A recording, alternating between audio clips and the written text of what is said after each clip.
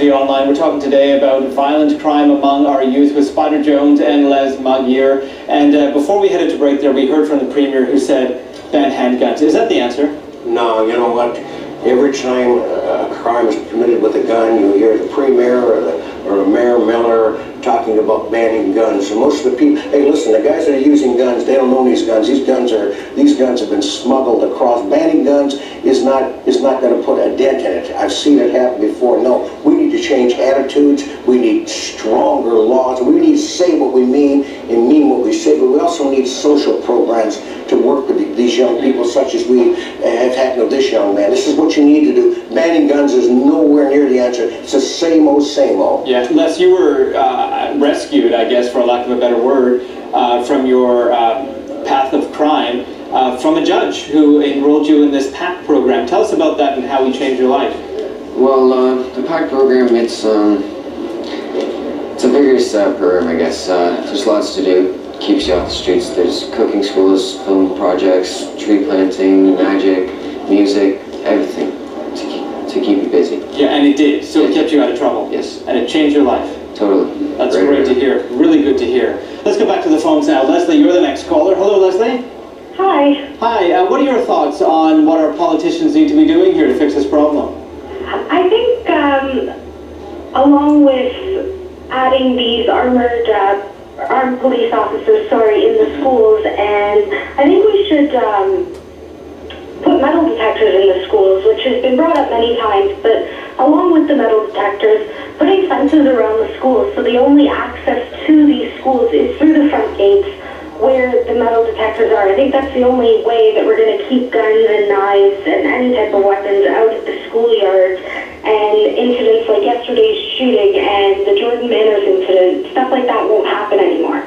Well, Leslie, I have to be honest with you. I mean, erecting a fence around the school seems to me like you're creating a jail for kids. You know what? Uh, we've had this conversation before on CFRB. Uh, that is, I mean, what do you want to do? I mean, we want such a police state that no one wants. These are isolated incidents. I know there's a lot of them, but they're still isolated. Most schools are safe. But if you look at the school yesterday, Bendale Technical, it has a history of violence, not so much gunplay, but a lot of fights in the parking lots, fights around it. It's in an area where there's a lot of gang violence. Mm -hmm. But that doesn't necessarily mean this young man in this uh, that was shot is in a gang. Thing I want to add very quickly is the fact that uh, growing up in Detroit, I, I go back to some of these areas, and all the schools have weapons detectors, they have armed guards in the schools. We're heading that way slowly but surely unless we deal with this instead of hearing a lot of lip service. Yeah, and we don't want to go there, do we? No, I don't want no, to go there. I don't no. want to go there. Uh, let's go next to Kemi. Hello, Kemi. Kemi, welcome to City Online. What are your thoughts on this? Francis, I've always wanted to say this on Canadian television. Let's give you the American perspective. I lived in the States 27 years and I moved to Canada last year. Mm-hmm. And we have school massacres literally over there. The politicians here in Canada, like Spider said, too much lip service. Stop blaming the guns on the border and what's coming in from America. Make some strict laws like 10 years for bringing guns to school and things like that. And first, first things first, Spider said programs, they need programs here. The Toronto School Board needs to give the parents access here. I used to go to my children's school to mentor kids. They're 21, 17, and 8. They're here now, but they don't let parents go into school easily here. They want to do background checks, they want to do this, blah, blah, blah. Do it. Let the parents mentor the children. And last thing, Francis, mm-hmm. the whole lip services with the politicians needs to stop. Put the metal detectors in the school, just like you put the cuffs. Do it now. It could be another one next week. Look at Columbine. Look at all the school shootings in America. Thanks for letting me talk. All right. Thank you, Kemi. Uh, let's go next to Joan. Hello, Joan. Joan, weigh in here and tell us how you feel about metal detectors Hello, or how are you? School. Good. Go ahead. Hello, Joan? Yes? Yeah, go ahead. Um, I don't think metal detectors are going to deter these punks that are going around with guns. Mm-hmm. My suggestion is they need a deterrent.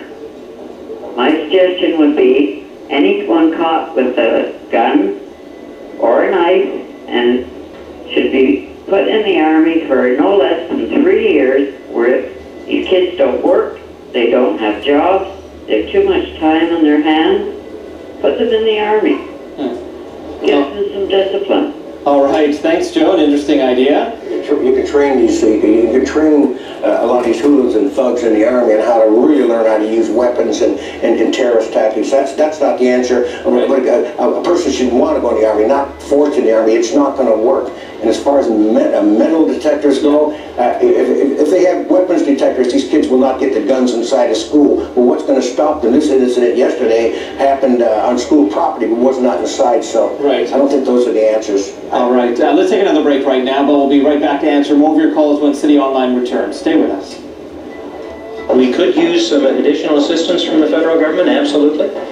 Uh, But our four-point approach is, uh, is uh, actually working, notwithstanding the terrible tragedies that occur from time to time.